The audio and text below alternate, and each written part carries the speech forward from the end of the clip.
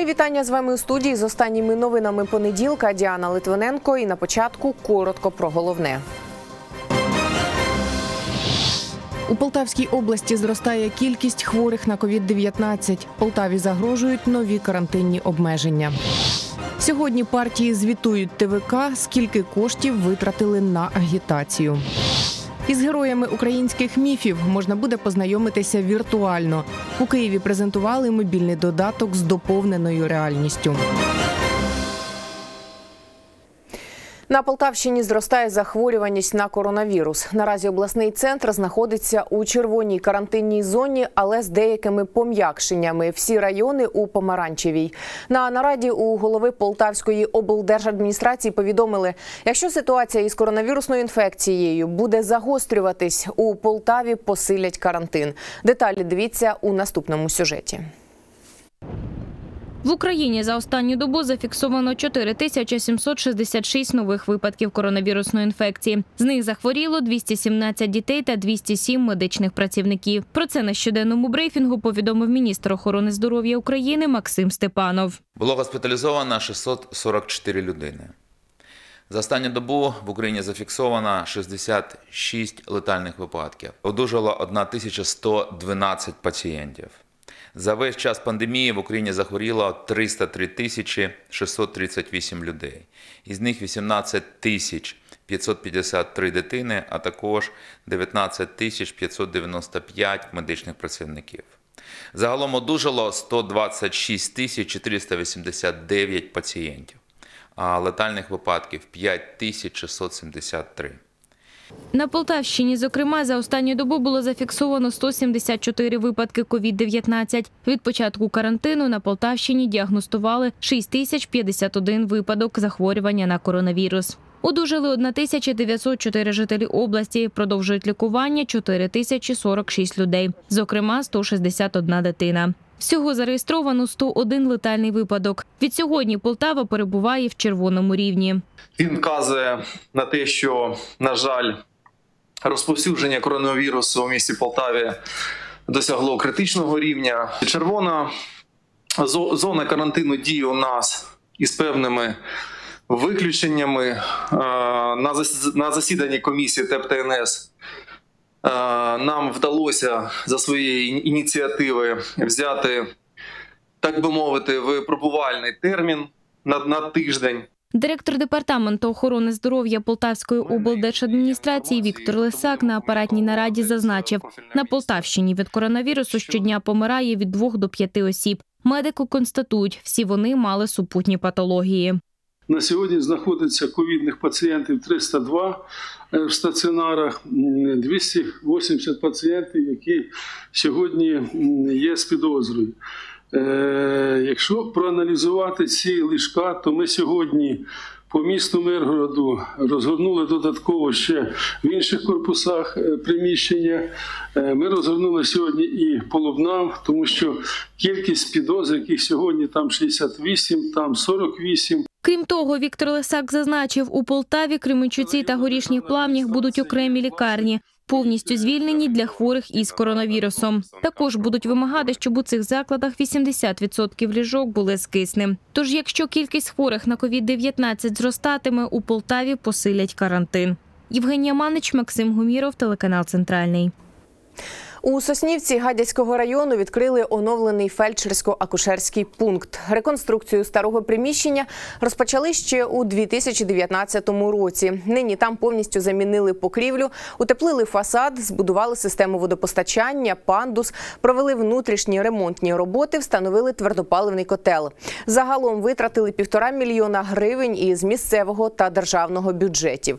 Допомагало в будівництві і місцеве товариство Маяк. Медики стверджують, нині це один із кращих медичних закладів у районі. прийшло молоде поповнення, сімейний лікар прийшов.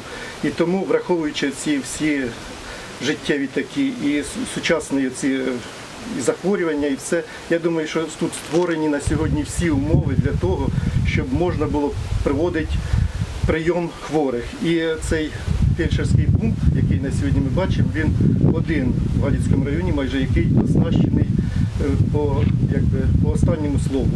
Я хотів би просто подякувати всім тим, що брали участь у ремонті даного фельдшерського акушерського пункту. Е, Красиво все зроблено, все хорошо. А я від свого імені та від імені медперсоналу будемо надавати е, всю необхідну медичну допомогу у повному обсязі. Партії звітують, скільки коштів витратили на політичну агітацію. Сьогодні останній день подачі проміжного фінансового звіту до територіальних виборчих комісій. Водночас, 19 жовтня, останній шанс подати документи для реєстрації спостерігачів на виборах. Про це повідомляє голова Полтавської міської ТВК Алла Назаренко. Кандидати витрачають кошти на свою рекламу, е, і згідно закону вони е, проводять це через рахунки, які відкривали для вибор передвиборчої агітації. І тепер вони повинні відзвітуватися, чи все вірно вони це все робили. Приходять кандидати в депутати зі своїми звітами. Потім ми будемо проводити аналіз і слідкувати за правильністю його заповнення. У МВС пройшли командно-штабні навчання щодо безпеки на місцевих виборах. Під час них відпрацьовано практичну складову із залученням авіації, вибухотехніків, слідчо-оперативних груп, пожежних та рятувальних розрахунків. Деталі у сюжеті. Не теорія, а практика, уявна ситуація та дії військових у разі залучення їх сил. Відпрацьовується безпосередньо перше питання це забезпечення безпеки. І друге позаштатна ситуація це виборців, які здійснюються з автомобіля. Громадяни виходять з приміщення для голосування, отримують продуктові набори та гроші. На навчаннях відпрацьовані ситуації, які можуть викликати найбільший суспільний резонанс: мінування ДВК, знешкодження вибухонебезпечних предметів, вибух поблизу будівлі ДВК та задимлення приміщення комісії, вчинення групових порушень громадського порядку. Також відпрацьована передача документації у виборчу комісію, спроби блокування ТВК та ЦВК.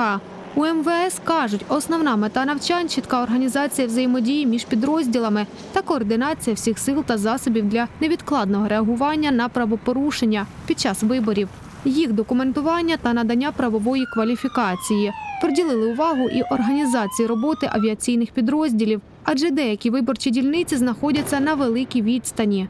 і нам необхідно буде реагувати оперативно. Переміщати особовий склад. Тому ми задіяли і повністю всю авіацію МВС, це і е, пожежну авіацію, тому що події в Луганській області вимушують нас і е, це питання вирішити. Тож будуть залучені вертольоти Аж-145 та Аж-225 Супер Пума, екіпажі Мі-8 Нацгвардії та Аж-125 Держприкордонслужби також будуть задіяні до переміщення розрахунків та реагування на ситуацію загалом. Чесні вибори! Будь ласка, тихіше, працює виборча комісія, не заважайте. Чесні вибори! Ми за чесні вибори! Ми за чесні вибори! За демократію! За демократію! Усього з 5 вересня територіальні органи Національної поліції України зареєстрували 5 тисяч 567 повідомлень, пов'язаних із виборчим процесом. За цей період до ЄРДР внесено відомості щодо 420 кримінальних правопорушень, а також складено 1316 протоколів про вчинення адміністративних правопорушень, пов'язаних з виборчим процесом. Анна Ружін, телеканал Центральний. З якими документами виборець має йти на дільницю? Менше ніж за тиждень вибори, на яких українці мають обрати своїх фаворитів. З якими документами мають іти голосувати та які нововведення чекають на виборців, дізнавалася Анна Ружін. Для видачі бюлетеня виборцю член ДВК має встановити особу, а для цього виборцю доведеться зняти маску. При перевірці паспорта сторінку з місцем реєстрації члену ДВК перевіряти не потрібно, адже тепер виборча адреса це не завжди адреса місця реєстрації. Відсутність в паспорті вклеєного в 25-45 років фото не є підставою для невидачі бюлетеня. Широкої популярності набуває додаток Дія, де завантажені всі документи громадянина.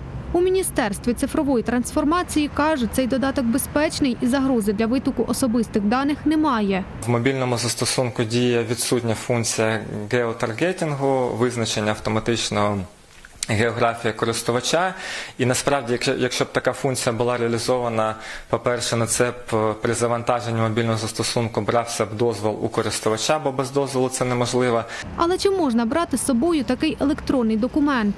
На своїй сторінці у мережі Facebook секретар ЦВК Олена Гатауліна пише: рекомендую всім виборцям іти на дільницю з паспортом у вигляді книжечки або ID-картки. Адже пред'явити паспорт для отримання бюлетеня у додатку Дія можна буде лише за умови наявності у ДВК технічних пристроїв, за допомогою яких можна перевірити такий паспорт.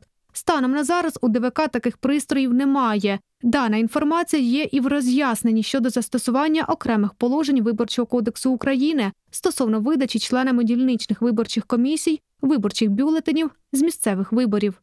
Тож 25 жовтня виборці мають взяти документ, який засвідчує особу, паспорт, книжечку чи ID-картку, щоб здійснити волевиявлення за обраних кандидатів.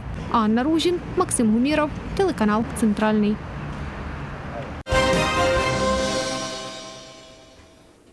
Триває третій етап сертифікації вчителів початкових класів. Зважаючи на епідемію, його проводять онлайн. Експерти з різних областей України спілкуються із педагогами нової української школи дистанційно. За їх словами, це не впливає на якість оцінювання.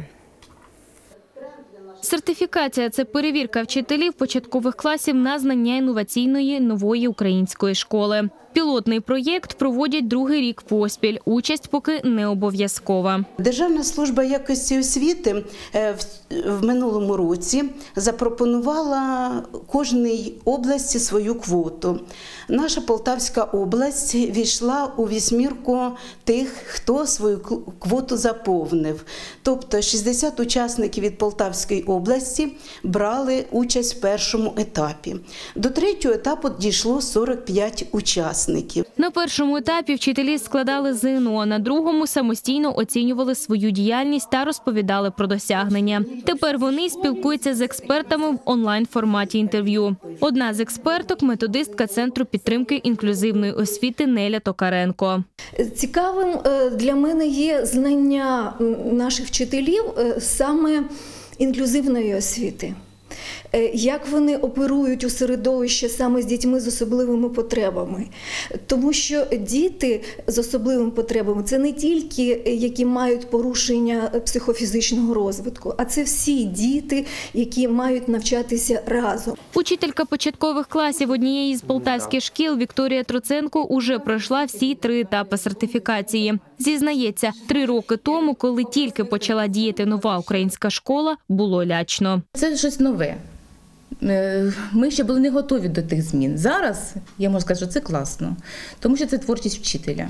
Нам дали можливість щось робити не в межах того, що давали програми. Зараз ми бачимо дітей, ми змінюємося, ми робимо з тими дітьми більше або менше. Ми розвиваємося і розвиваються діти. Ми навчаємося так само в місті з- разом з дітьми. Результати сертифікації визначать у середині грудня. Учителі отримують 20% надбавку до посадового окладу та автоматичне зарахування атестацій з присвоєнням наступної категорії. Сертифікат дійсний протягом трьох років. Аліна Боровик, Сергій Глоба, телеканал Центральний. Збереження та популяризація української міфології у столиці презентували перший етап реалізації проєкту Чарівний світ UA». У його рамках розробили мобільний додаток із доповненою реальністю. Діти тепер зможуть познайомитися із героями українських міфів віртуально. Побувала на прес-конференції і наша знімальна група. Герої української міфології не тільки на сторінках книжок, тепер з ними можна познайомитися віртуально за допомогою мобільного додатку Чарівний світ UA з доповненою реальністю. Автор проєкту розповідає, ідея діджиталізації героїв вітчизняних легенд виникла ще 5 років тому. Зацікавились власне можливістю візуалізувати українську міфологію. І зрозуміли, що вона ще не візуалізована, не діджиталізована. І перед тим як робити сувеніри, нам власне потрібно почати з основ і намалювати, відтворити образи цих персонажів. До проєкту залучили українських істориків, художників, дизайнерів та програмістів. Вони розробили 20 автентичних образів героїв української міфології, серед яких Перун, Чугайстрик і Кобиляча голова.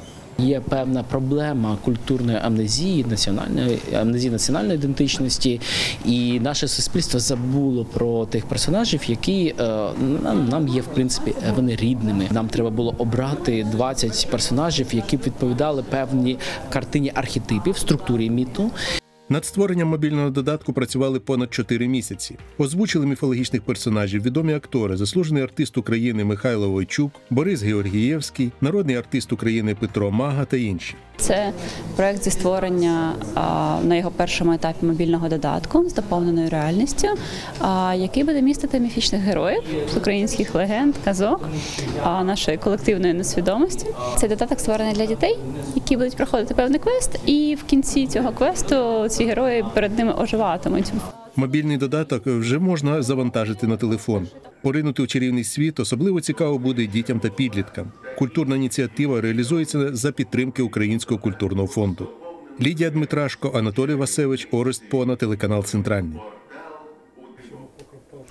У Кременчуці після 12 років реконструкції на першому поверсі краєзнавчого музею відкрили експозицію. Нині там представлені як експонати із фондів, яким 4 мільярда років, так і предмети сьогодення. Презентацію оновленої експозиції почали із музейного дворика, де власне вже демонструють експонати: зразки каменю з українського гранітного щита, половецької баби, гармати.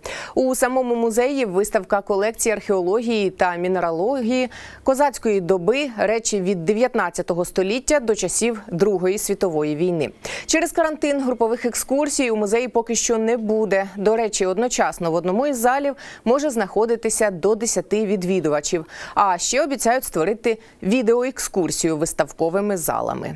Музей це скарбниця історії, і я сподіваюся, що коли-небудь найближчим часом ми відкриємо і про все зможемо розповісти. Змінився сквер біля музею. Він став дуже гарний, дуже такий розкішний, і нам дуже приємно, що. Буквально з першого дня, коли встановили лавочки, тут стали відпочивати і дорослі, і діти. І ми дуже раді, що таким чином, хоча б таким чином, люди долучаються до музею. Це була остання новина на сьогодні. З вами була Діана Литвиненко. Залишайтеся з нами. У нас ще багато цікавого.